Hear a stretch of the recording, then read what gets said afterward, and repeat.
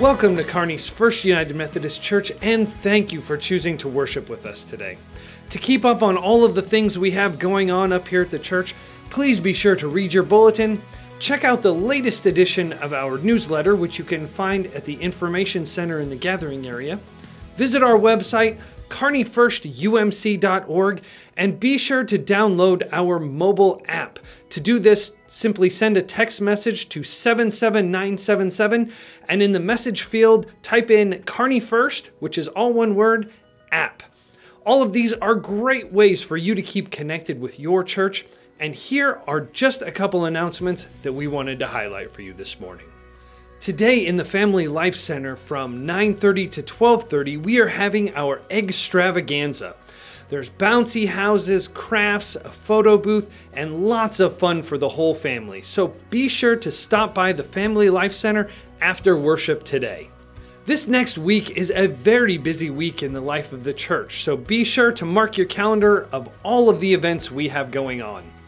Maundy Thursday is this Thursday, and we will have a traditional worship service with Holy Communion here in the sanctuary at 7 p.m. Good Friday is this Friday, and we will have a traditional worship service right here in the sanctuary at 7 p.m.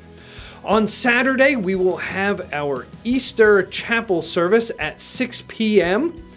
And Sunday all starts off at 6:30 a.m with a youth sunrise service, followed by breakfast at 7 in the fellowship hall.